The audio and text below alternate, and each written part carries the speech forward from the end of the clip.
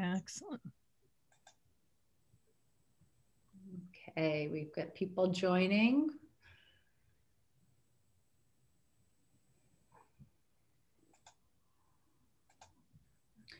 Just going to give it a few minutes while I'm managing the waiting room. We've got people joining now. So if you're joining, just please make sure that you're um, that you're muted. We would appreciate that so that we can limit any background noise. Um, and we will get started momentarily.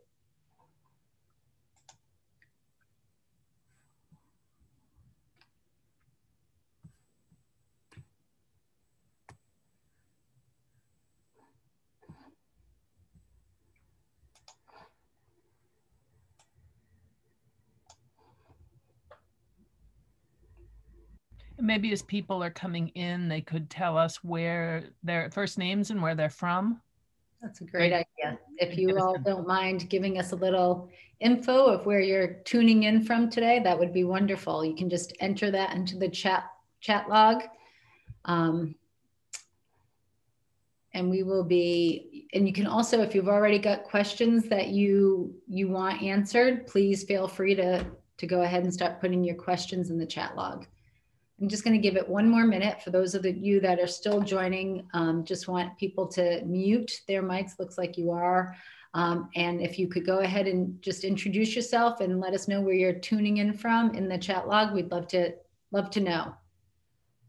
Last week's call, we had somebody from Sweden, which was super cool. Oh, wow. Yeah.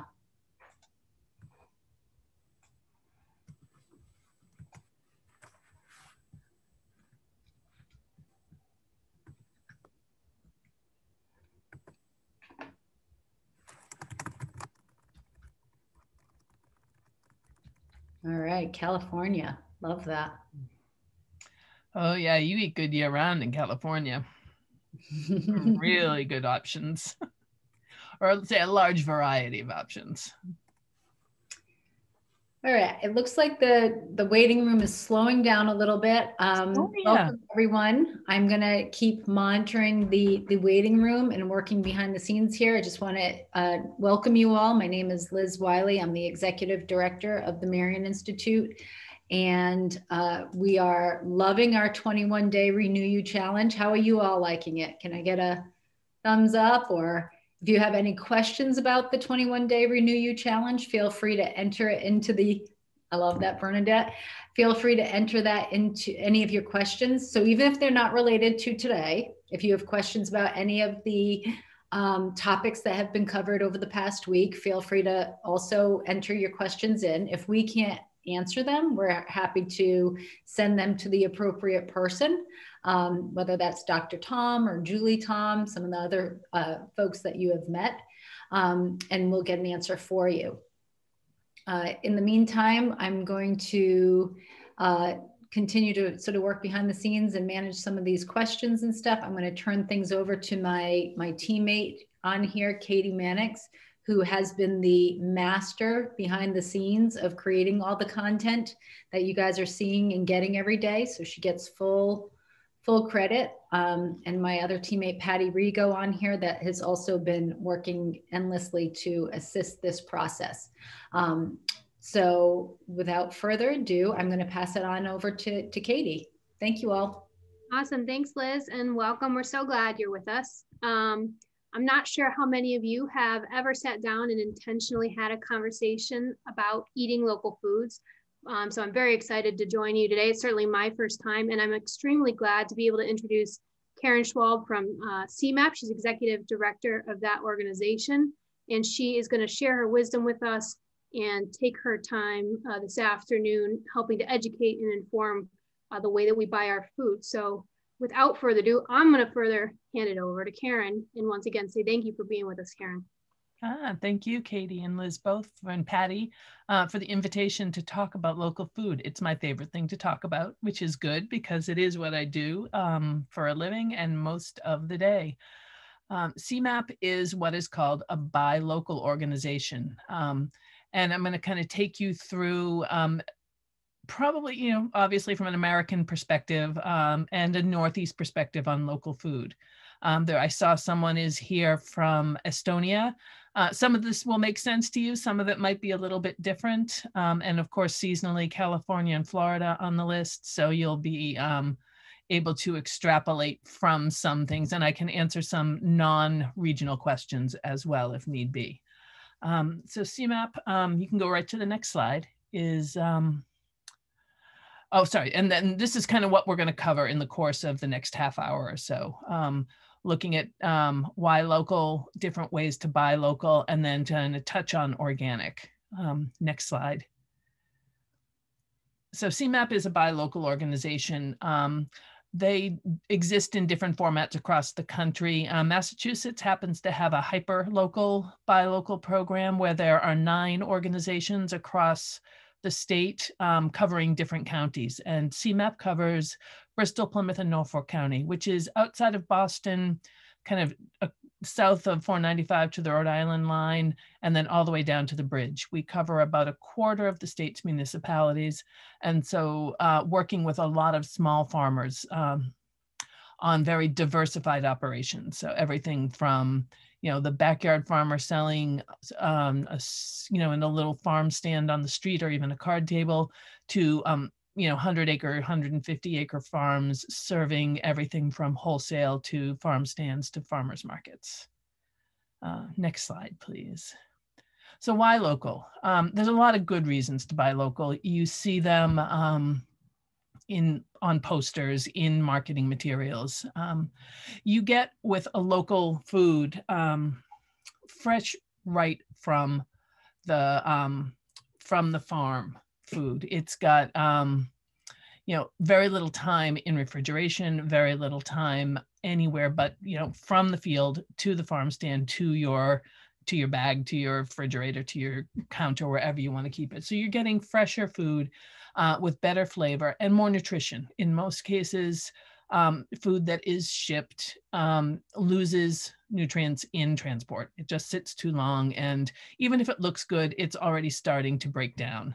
Uh, local food is coming right from the farm to you, um, and you get the best benefit of um, you know the flavor, the nutrition, and what's exciting I have found with Northeast farmers is they love to grow different varieties. They want to try something new. So you're going to see varieties you would not see in the supermarket. You're going to see tiny carrots, fat carrots, multicolored carrots. And granted, supermarkets have gotten better than when I was a child, where we had four tomatoes in a cellophane pack and an iceberg lettuce, um, and everything else came in canned. Um, but you know, the farmers now are experimenting. They're developing seeds that are appropriate to the region, um, and working with um, their their consumers, their customers, to see what is um, what are types of crops they want to grow or see. So you get to actually have a better variety and from working directly with your local farmer. Um, next slide, please. Um, local also has the um, a, a, great benefit in your knowing your farmer, you're knowing your neighbor, and you're able to talk to the person who grows your food, or maybe one step removed, you're talking to somebody who is um, working with the person who grows your food. Not all the farmer's not always the one who comes to the farmer's market, but they're super knowledgeable about what is being grown and how it's being grown. And I think for all of us on this call, that's something we care about, making sure that the not only is the food healthy for us, but the food's healthy for the planet as well. Um, and for some of us, it's also the, you know, that a farmer is getting fair compensation for the food. The way our food system works is ex- there's a lot of disparity in you know who is making the money in the food system so in this case the farmer gets a bigger portion of of the food that he grows as you know goes back into his own pocket which in turn keeps that money in our local economy there's lots of metrics that people measure but you know what I have seen is for every dollar you spend at a farmer's market or a local farmer's farm business, it recycles 11 times in your local community, as opposed to spending it at a far, at a uh, supermarket where it basically leaves your local economy. Next slide. Um, and there's also just the importance of maintaining um, an agricultural landscape for a lot of people. Um, the rural landscapes, the open fields, it has, you know, a historical value, it has a huge ecological value. One of the most quickly disappearing um, ecosystems is just those open fields. So being able to keep um, keep uh, open landscapes, vistas that are traditional and um, you know well loved in our region. Farmland is part of in New England is part of our history. Um, next slide. So um,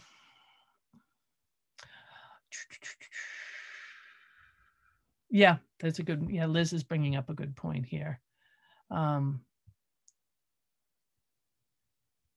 yeah, that's a good one. Um, I'll get, yeah, I'll kind of loop back to that afterward. Um, did I, just a second. Um, yeah, so one of the big questions that I get working with local food is, is it organic? Or there's an assumption that everything is organic. Um, that's not always the case. There are certainly farmers who are working organic and organic comes with a whole different conversation we'll get to in a minute. But really, when it comes down to wanting to know how healthy your food is, nothing beats talking to your farmer. Um, being able to go into the farm stand, go into um, you know different any different ways you buy local food, you're getting a chance to learn more about what you're eating. Um, and I kind of put these two points underneath it when you're talking to your farmer. Um, sometimes people get a little confrontational when they don't hear what they expect. You know, it's not organic. Well, what do you mean it's not organic? Um, ask, go in with an open mind and ask questions and develop a relationship with your farmer and you're going to learn a whole bunch about your food. And, you know, developing that rapport will give you a chance to um, potentially adjust how your farmer is, you know, what they're growing or how they're growing. So not everything is organic. It's, yeah, it's local, it's fresh, um, it's flavorful, but and and run by and and managed at a human scale. Um, so next slide, please, Katie. This is what organic means now. Um, organic is trademarked and it is a marketing designation as much as it is a growing um, a set of growing practices. So when you buy something organic, you are in some instances supporting this. If you're buying organic in a big store, uh, box store market, um, and it doesn't always meet the standards that we used to expect from organic. So um, next slide, Katie. So there's the trademarked organic. It's managed by the USDA. Um, it is a fairly rigorous set of criteria that a farm has to meet, but it's also targeted at large scale farms. You cannot use the word organic anymore unless it is you have gone through the trademarking marketing trademark program, except if you're a small farm. And it's around $5,000 where there's a small farm exemption and you have, you can say you're meeting the practices, but you don't have to jump through all of the hoops. Um, there are great organic farms. There are a lot of farms that do um, have the time and energy to go through the marketing criteria and through the program that the USD ha USDA has. And they are doing great work, but they are not the only game in town. There's also organically grown, which is where you're making a personal commitment to growing by organic methods, which are, you know, plant-based, earth-friendly methods, but you're not going through the trademarking program.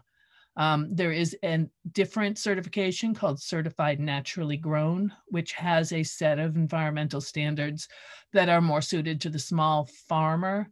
Um, my favorite is the one right now they're using in New York, which is the Farmer's Pledge. And that is benefiting not just local healthy food, but also strong local economies, fair working conditions, better wages, um, humane treatment of animals, and care of the land. So that is managed through NOFA New York. It's uh, it's used in other places, not as well known, but uh, from my mind, it covers all of the bases that I think most of us are looking for. There's also a food justice certification you can get on top of organic. And that is also, um, you know, another way to look at your food, not just the technical aspects of how it's grown, but how, how it is in an environmental justice um, situation. And as we go through organic, there is something that I think, you know, some of us may have talked more about, and that's nutrient dense crops or nutrient density. And that is the attempt not just to grow food that is, um, how do I want to say this, um, good for the planet and safe, but also food that has more nutrition in it than you would nor- find in normal crops. And there's a lot of layers to that. That's probably its own conversation. But food that has been grown in land that is constantly in production, unless you are paying very good attention, you can deplete your soil of certain nutrients. Um, what nutrient dense farming does is makes a very active and um, deliberate attempt to increase the density of nutrients in the food itself. And so they are managing their soils differently, they're managing their crops differently with um, somewhat of a, a different approach than just an organic farm or an organically grown crop would. Um, the one, there are a few in the South Coast that are doing that. Um, I think the king of that is Brix Bounty Farm and Derek Christianson. He sometimes um, will do workshops on that, but his website for Brix Bounty Farm, B-R-I-X Bounty, um, and we'll, I'll get this to Patty so you guys can have that as a follow-up, um, talks a lot about um, the health benefits of having more nutrient dense foods. So next slide, please. So how do you get more local food in your diets? You got to find your farmers. Um, and there's a lot of ways to do that um, through a community supported agriculture. Right now, our winter farmers markets. And there's also an aspect of online ordering for pickup and delivery. And I'm going to cover all those points in the next few slides. So next slide, Katie. So um, community supported agriculture is about 25 years old and it is has reshaped the way farmers interact with their customers. So um, I put up kind of the technical de definition, you know, um, you as a part of a community supported agriculture become a, a, shareholder in a crop, the crop of the farm. Um, the best analogy I've seen is it's like a magazine subscription. You buy your magazine at the beginning of the year and you get regular installments. Um, in the case of a community supported agriculture, you pay up front for your food for the season. Um, and what you get back is, is food across, usually on a weekly basis. You get what is fresh and ripe and ready to go um, on the farm. And you get to come to the farm, meet your farm. I would say most cases you come to the farm to pick up your food. In some cases, farmers are doing delivery either to households or at other locations. Sometimes health centers will put together a community supported agriculture um, or a, a, business or um, even picking up at a farmer's market. They'll bring shares, boxes to their customers so who, instead of coming out to the farm. So you pay for the season, you get your weekly pickup of veggies, um, you get things you would expect, and they usually advertise what you would expect to get root crops, leaf crops, fruits, sometimes herbs and flowers. Um, community supported agriculture also, some of the farms give you an opportunity to work right on the farm. You can come in and either do it as a something as a pleasure um, to come in and be able to help out the farmer and learn about farming. Sometimes they do a partial work share. So if you want to cut down the cost of, you know, the local food, you can um, go and help out on the farm. Some farms will say, all right, you know, you're coming to the farm and we are providing, you know, fruits, vegetables, um, leafy greens, but if you want to pick your own flowers, you can also do that as part of your share or pick your own herbs. So they make, you know, you have an opportunity to get more for your share just by coming to the farm and getting just what you need for that. This system works really well because it shares both the bounty and the risk because the you are in it with the farmer as a shareholder on the farm. If it's a good year, and you know there's a lot of good years in the Northeast, we have pretty good growing conditions um, you can, you know, you will get a, a, your portion of that share. In a good year, it's better, but in a bad year, you're going to take some of the risks. So you might have crop failure on spinach, and you're going to be getting chard and kale instead. But you're supporting the farmer. You're still getting, uh, you know, your value in vegetables, but it it spreads around the risk of um, of maintaining the farm and supporting the farm with the community as well as the farmer. And then just how the timing of community supported agriculture works is you pay the farmer ahead of time and that helps them at the beginning of the season when money is tight and that gets the farm up and going for the year. Next slide, please, Katie. Uh, winter farmers markets, which is what we're seeing right now. Um, it's there's some really great farmers markets going on in in New England right now. Um, you're going to get some amazing storage crops: apples, potatoes, onions, you know, beets, turnips. Um, it's been it was a good year, and there's a lot still for sale. You also see greenhouse and hydroponic greens and herbs, meat and eggs, and in some cases dairy products. There's a lot of great cheesemakers in the region and then prepared foods that are coming, you know, that have been um, created, you know, at was produced at a time when the, everything was fresh and ready to go. So tomato sauce or dried herbs. So all available, you know, year round in this region.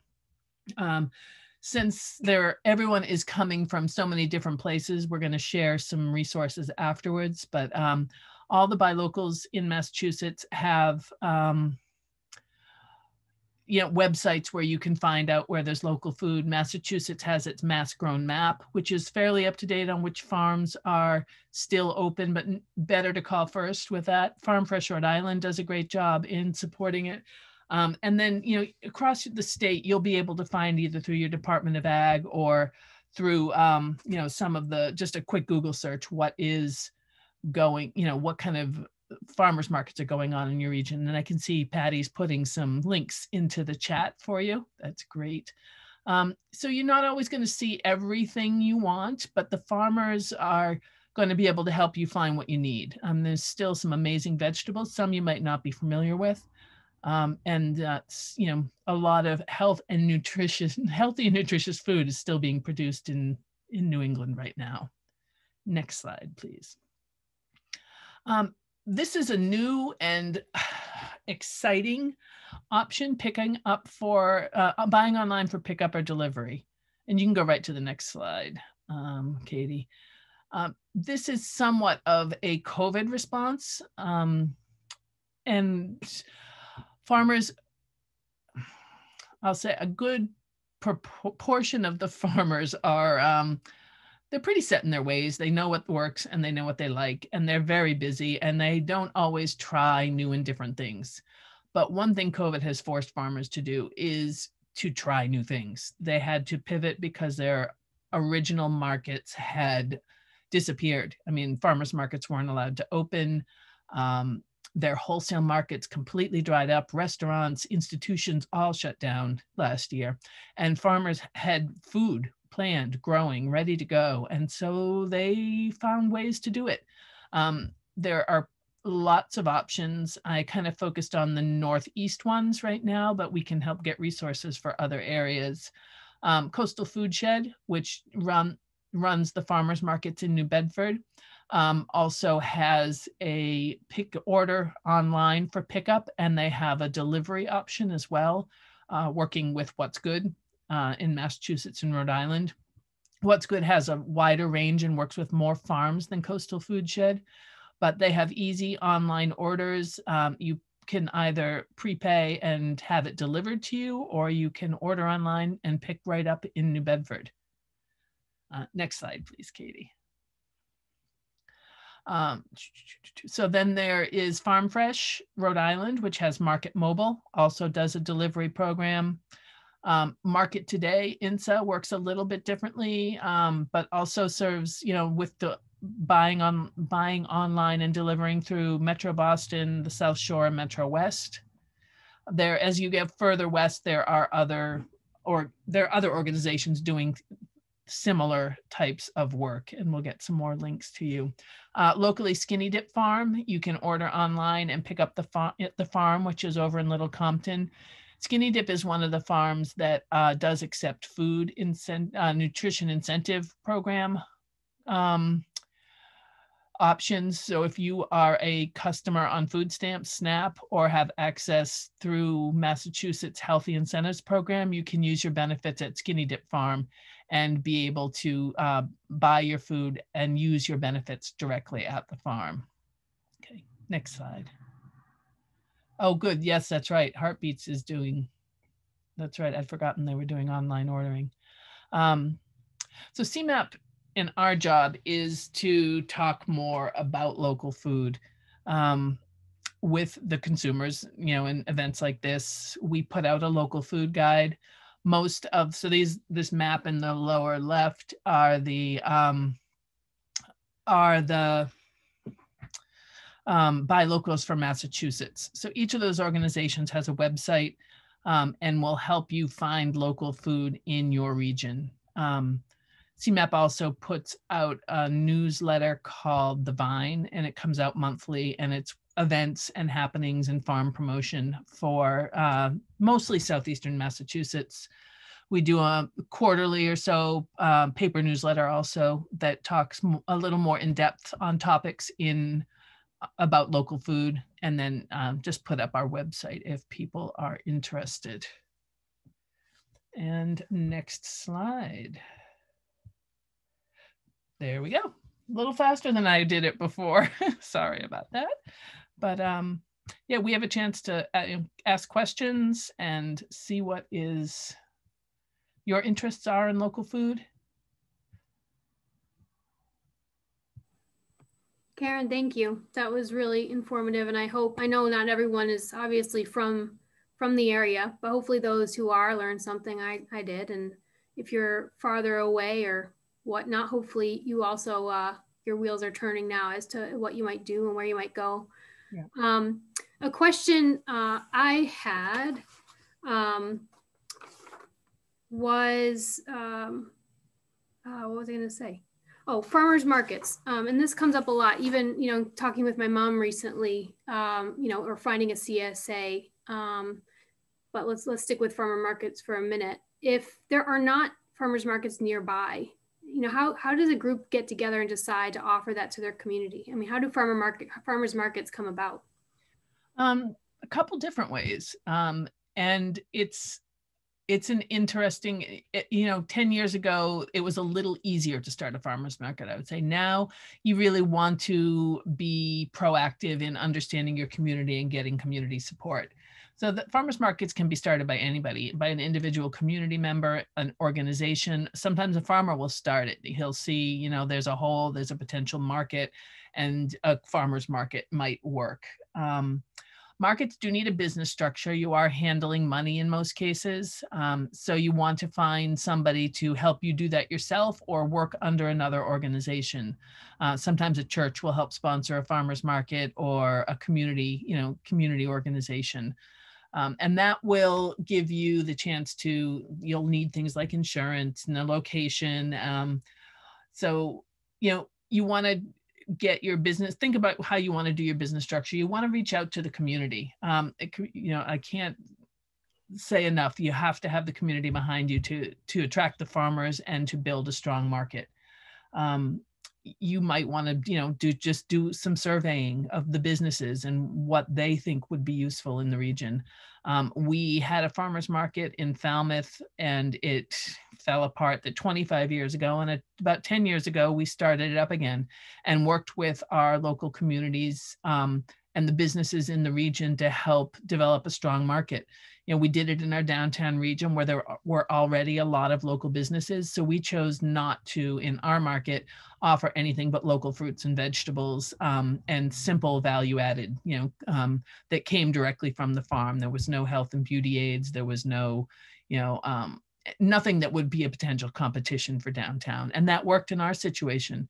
Other places like um, the SOAM, the open air market, they're everything, you know, they're soup to nuts, everything from, um, goodness, I can't even, you know, um, arts and crafts to value added to, um, to, to farmers as well. And so it just depends on your region and you want to be open-minded and, you know, about careful about what the region needs. Um, you know, Canton is one of the new um, locations for a farmer's market, and they've been working with SEMAP for the past three months just you know looking at what it takes to start a market helping we help them make connections. We did some outreach to the farmers for them because the other thing you're going to need is really at least one anchor farm one farm that has a wide diversity of um, offerings so that it will bring people to the market. Um, and you know it, with one good farm you can get by and it's good to have two or three. Um, you want to be able to bring in your local farmers as well um, and you know, so anyone who's in southeastern Mass or even on the fringes, we can help connect you to your the organizations that you need. Um, there's Mass Farmers Markets in our region who help start markets as well. Um, and I will just, you know, not to ever down. How do I say? I don't want to, you know, discourage people, but market saturation in farmers markets, especially in the summer, is real. And what we are starting to find is you can start a new farmer's market and you will get customers, but what you will do is you will bleed from other markets into that market. So then there's not necessarily a net growth of income to the farmer. And to make the same amount of money, they now have to go to two farmers markets. Um, and that comes with additional costs for the farmers. And so that's been the biggest barrier sometimes to getting a new market is the farmers just feel like, all right, they're doing well enough in in this region and that the market can't take anymore. They're going home with product. So um, back to the original, you know, community support is crucial in making sure that you have the um, the base to create a successful market. Thank you. That was really thorough. And I see that people are adding some information about markets maybe closer to them. Um, and so if there's any opportunity for people to learn from that, that's appreciated. Uh, a couple really good questions, and just because I am, I think that this last one may have come from something you just said. Um, Nina asked if you could please explain what value added covers.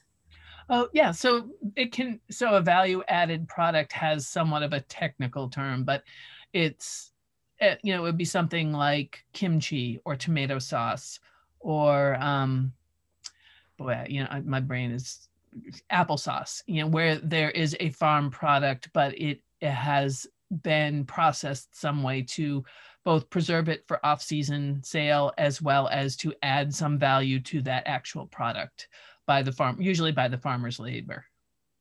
Awesome. And then there was a question um, from Lenny, and I don't want to overlook it. It was a really great one.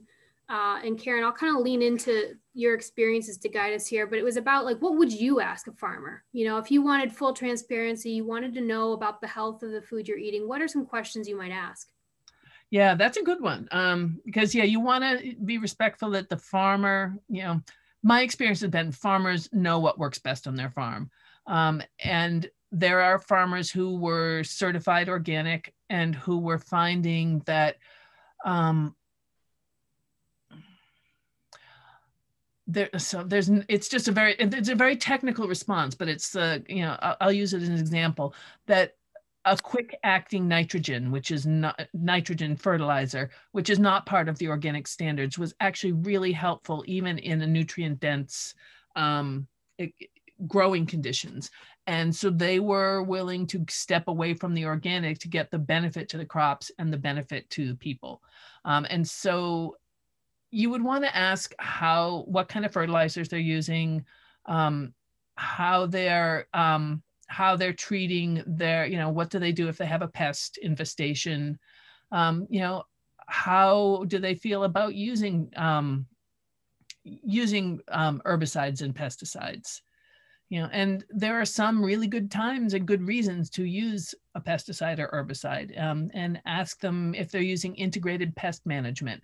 So looking to balance you know natural cycles by using some you know a ladybug to eat aphids is probably the most common example you would see. Um, and then you know really listen to why they're doing it. Um, there are always going to be farmers who see that question as a challenge but um, if you are asking and willing to listen to the answer and understand the answer. Um, and that's sometimes the hard part is having a you know being able to have a farmer explain it to you. We're also happy to talk through growing practices and if there's a particular growing practice you're concerned about um, you know to help develop a particular question. I you know i'm having a little bit of trouble coming up with any scenario that might you know need an answer but um, there are very few farms i would not i would say is there any farm i would not buy from i don't think so in our region they're really doing a good job with land care and plant management I, I, just want to chime in here because I yeah. think it's such an important question, and and I think um, Lenny, you asked it, and you're you're coming in from California, so different from the farm around here, and so easy for you, Karen, to like know some of the answers to those questions. Yeah. Where the you know some of us on the call would be like, they could tell me any type of fer- fertilizer that they use, and I'd be like, okay, what does that mean? Yeah. Um, so I think you know if there were just a few like you know, key terms like IPM, mm-hmm. um, integrated pest management is a great one. Uh, restorative agriculture. Like if you and I could just like, what are like the five like terms that you would want to hear them say yep. that the lay person, you know, could say, okay, like that that sounds good versus you know knowing like what kind of fertilizer or what kind of because even i mean there are some herbicides and pesticides right that are organic that they could be yeah. using that you know if you hear that you might say okay that's bad so i just if you could just yeah. give like names like five names or five words that they could say that you could say okay that that sounds yep. pretty good they're they're yeah. Yeah i mean restore if anyone's talking about restorative agriculture you're certainly well on the way to having a farmer who's got a whole systems approach to their farm.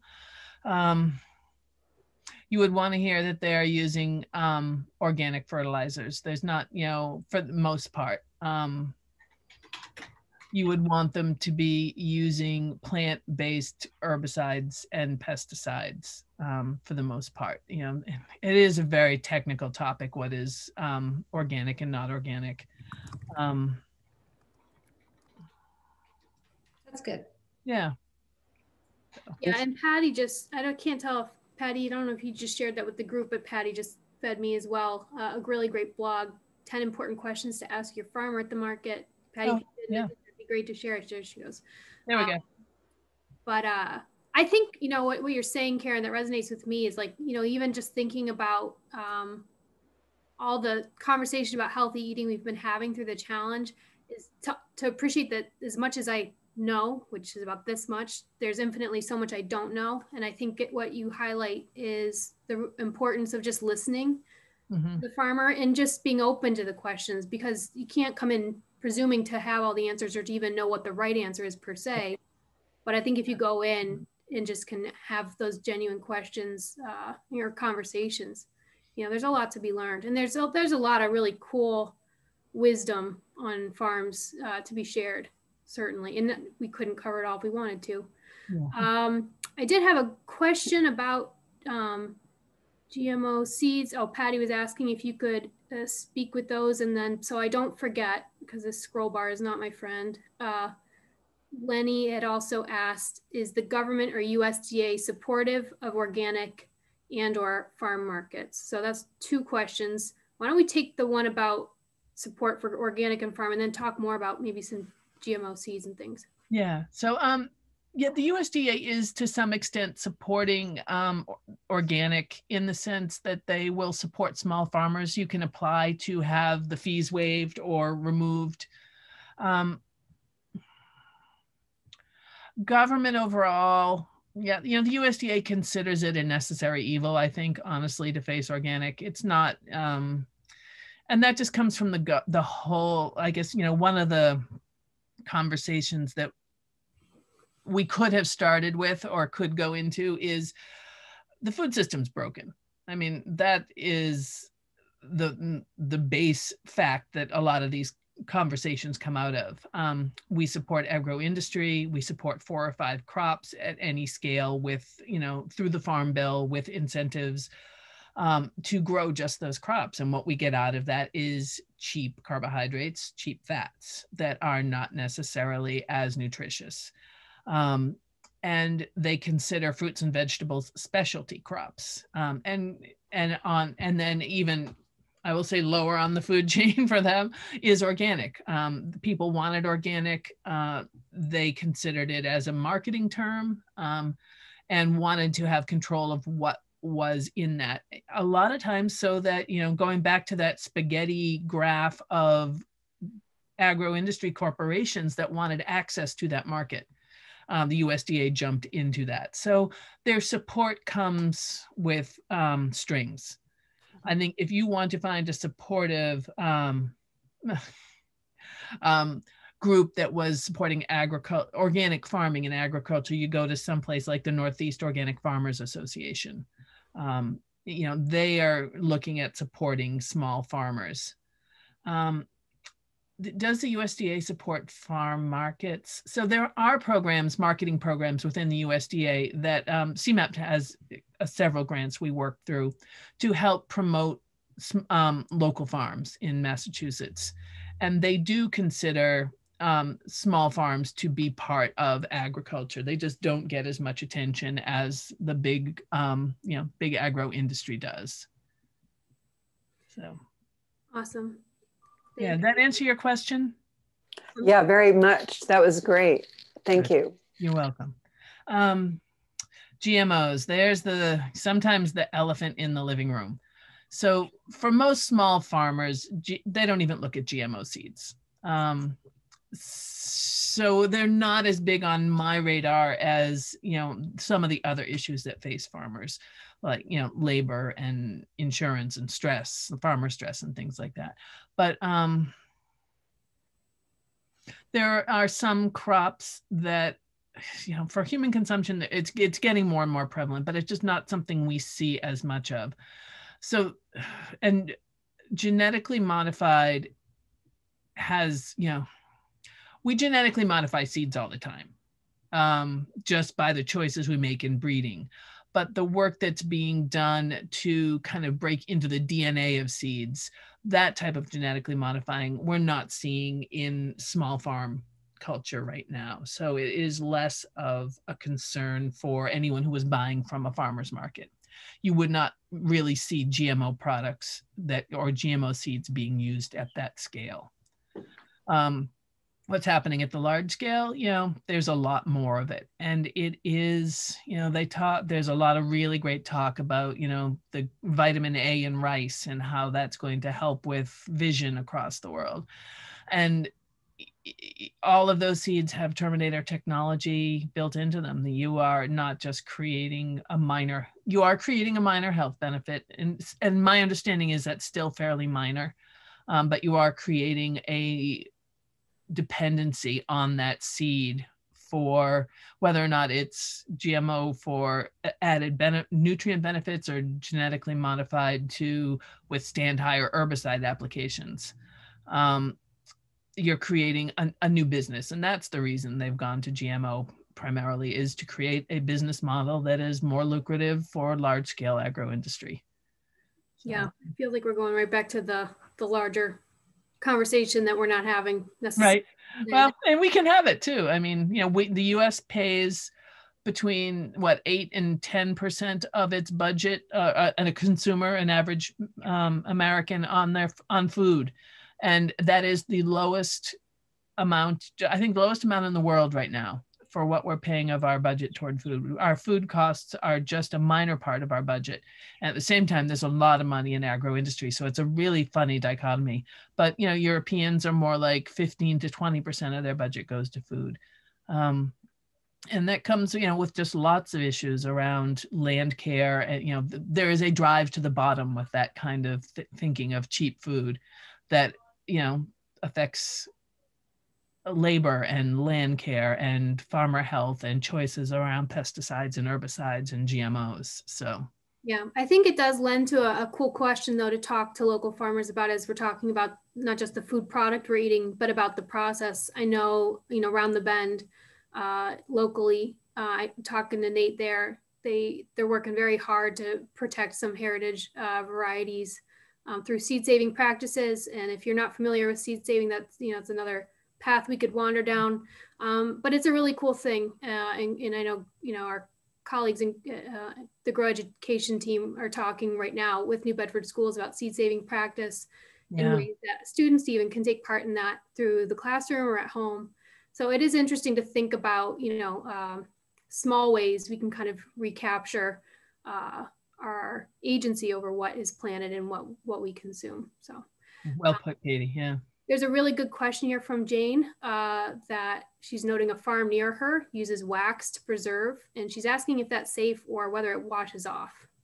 So wax is usually, especially at the small scale, is usually fine. It's usually carnauba wax, which is, I believe, like insect chitin. Um, and it's been super helpful in preserving produce, delicate produce. Um, you know, it's probably on, um, you know, they'll do it on anything from apples to sometimes turnips, just to be able to keep them from shriveling up or be. And yeah, it washes off. You know, it doesn't hurt ever to wash, you know, root crops and fruits with, you know, some safe soap and water when you get it home if you're concerned about it. Wax you want to have come off. It is considered food safe to eat. It can't go on the food if you don't. Um, but it's also not, you know, it's not something you necessarily want to have in your body. I've not ever heard that there's been a particular issue with it. Okay. Uh, I appreciate that. Um, uh, Lenny's saying she has a great short story about why we want organic. I, would be game. I'd be game. Yeah. Um, about it must be 20 years ago, I was reading an article from someone, and they were saying it was like in the Midwest, and there was a dairy farm where they kept finding that the farm that the cows in the dairy farm were licking the uh, whitewash in the um, in their in their little shed uh, where they would be milked. And they couldn't figure out what it was. And then they realized the whitewash had like calcium carbonate in it. And they were so starved for calcium because they weren't getting it in the foods that they were eating that they were licking it off the walls. And it made such a it fixed in my mind yeah. so clearly you know why we would want to eat organic yeah and, and the issue of uh, depleted soils yeah that's a big one that's one we have not paid enough attention to in our science uh-huh. We're, we're digging up, I'm having Patty look up right now the link to Zach Bush. So if any of you have not been watching or following Zach Bush, you should be. Oh. Um, and I say like should be like, and I don't say should easily, but um, you should be because his he's a triple board certified th- three-time triple board certified doctor something and he has such a, a depth of knowledge around uh, gmo so talking about yeah. gmo and gmo modified crops and then glyphosate and how that um, affects the shikimate pathway which is a pathway that's really important to our gut lining and our blood brain barrier oh. and how that it, it destroys that shikimate pathway and it is creating porousness and therefore linking that to why we're seeing such an increase in autoimmune diseases and neurological diseases at younger and younger ages too. Yeah. Um, so Patty, I know is working that uh, to get that link for you all, but um, check out Zach Bush because he's yeah. really do- doing a lot of work with the farm through his organization called the Farmers Footprint, um, and and it's really all about uh, restorative agriculture and the importance of nutrient rich soils you know and the food coming out of that. Um, so we'll, we'll get that information up for you soon. And stuff you know because one of the promising um, new techniques that um, has developed been developed in the past 20 years is no-till farming. And it's been easy to implement at a large scale. No-till farming is where instead of turning over the soil every year you um, usually are planting a cover crop that in turn you kill either you know so and and and plant into it. And we'll talk about the kill part afterwards because that's where it gets interesting and concerning. But that keeps the soil covered. It keeps the soil protected. You aren't necessarily turning over the soil losing organic matter losing soil biodiversity losing soil structure. It's really good used on a large scale. There's equipment for it and farmers are getting it you know in the midwest but at the same time, you know, you can go over that crop with something called a roller crimper, which kills the crop, or you go in with glyphosate and kill the crop. So, you know, and then you're in turn needing a plant that is more resistant to glyphosate. And so you're caught in a different cycle. We are working with farmers on the first pathway. You know, you're you're putting using your no-till equipment, you're, you know, you're killing with a roller crimper and you're planting in with a no-till planter. And that works really well um, for just improving your soil. But in the Midwest, we've been able to save topsoil, but it comes at the cost of that extra herbicide use. And so you know it goes back to that first question of you know or that that base conversation of the scale at which we do agriculture and what that means yeah and i think if um i know it in some ways maybe a light touch but if you haven't seen the documentary kiss the ground uh, and the conversation around soil health and and that whole you know biology that yeah. would be a, a, reasonable place to to start and it is it's compelling. Um but you know what? Uh, lenny's story actually brought up another thought, and I think um, Karen, I saw it somewhere else, maybe in one of your slides, is about um, animal product from farms and practices for animal care, animal husbandry, the way animals are raised, treated, and then the way that as well agri- uh, agripreneurs are supported in getting animal products into the market. If if you have any insight on that, I, I think we tend to talk about fruits and vegetables a lot. Yeah. Um, but oh god, meat is so important. Grass-fed meat is just the I won't eat anything but really is what it comes down to there's no point in not for the animal's health for your own health or the planet's health um, meat itself is still um, requires more inputs than plant-based material for the amount of nutrition you get but it's also crucial nutrients that come out of meat you know out of livestock products so you want to have grass-fed meat in your diet um, if you're eating meat um, and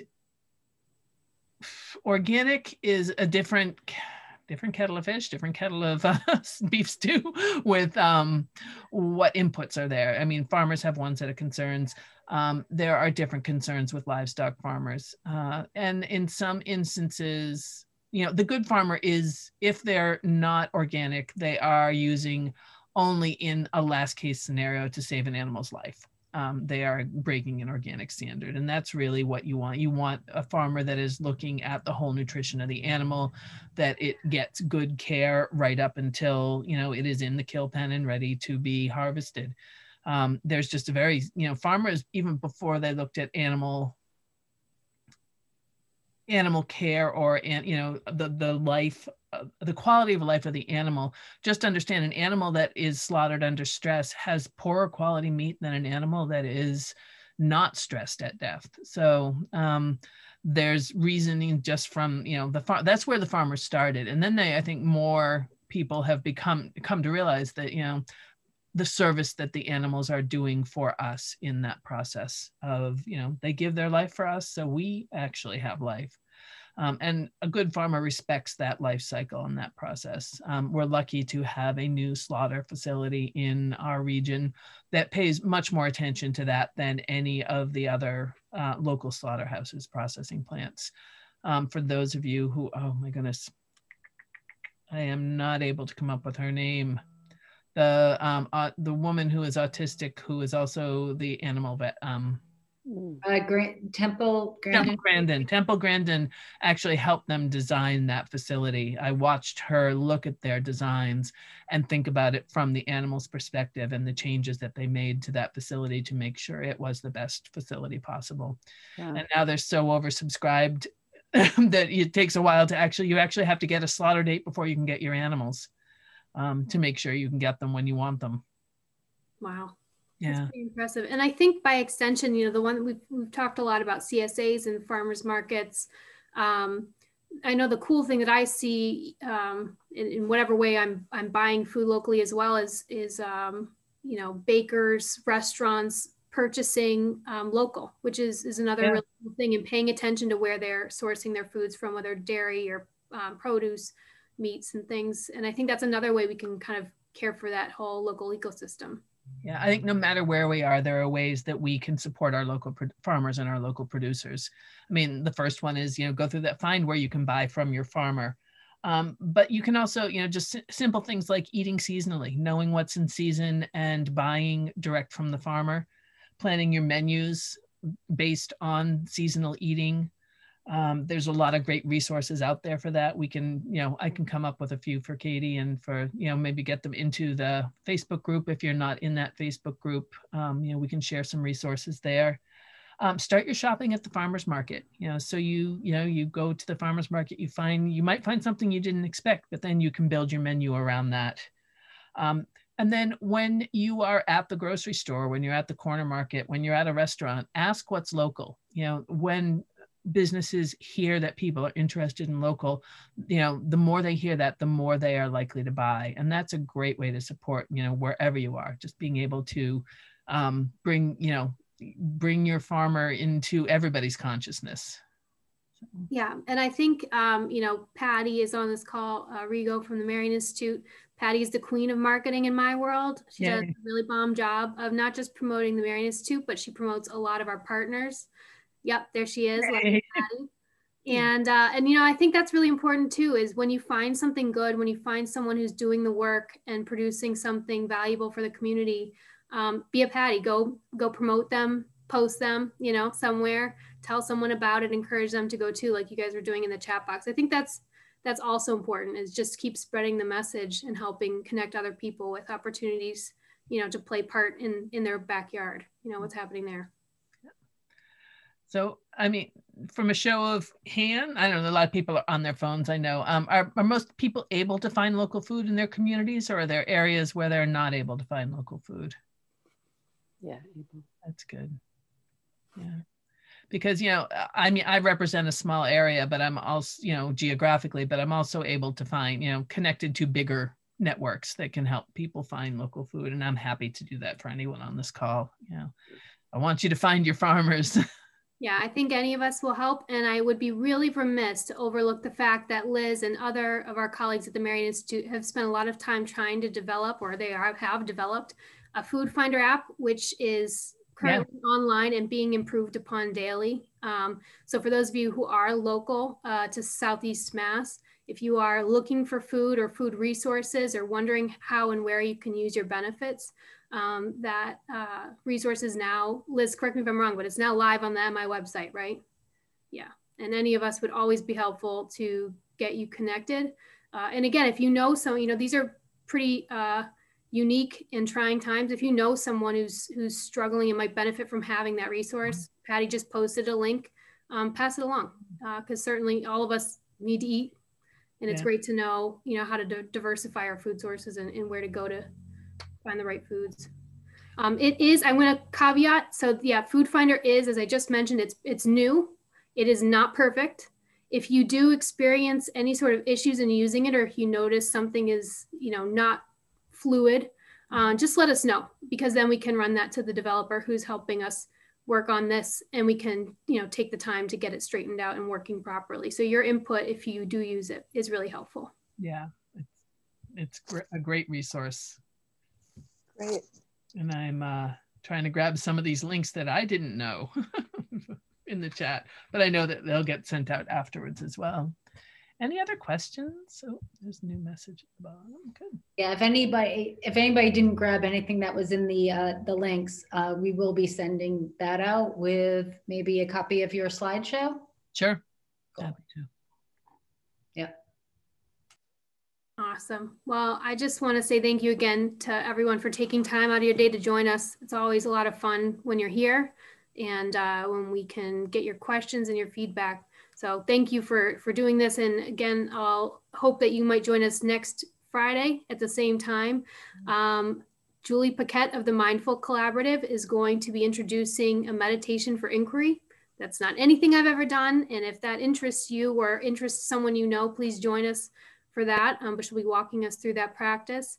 And then also don't forget on February 2nd, uh, we will be having a bio bite on the topic of sleep with Dr. Dr uh, Jeff Drobot from ACBM in Arizona. He's also affiliated with the Biomed Center uh, New England. Uh, and on the 5th, that Friday, we'll be having an Ask the Doctor event with Dr. Dickson Thom, also from ACBM in the Biomed Center New England, uh, always at noon, always at lunchtime. So Awesome. Well, Karen, thank you again. And thank you again for joining. I appreciate the Marion Institute putting it together and having the opportunity. Thanks. Yeah. Great. Karen. Thank you. Thank you all. Thanks, Lenny. Good. Good Nice to day, meet you everybody. all. Thank you.